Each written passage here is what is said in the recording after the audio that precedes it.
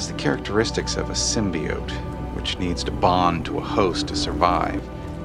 And sometimes these things in nature, when they bind, they can be hard to unbind.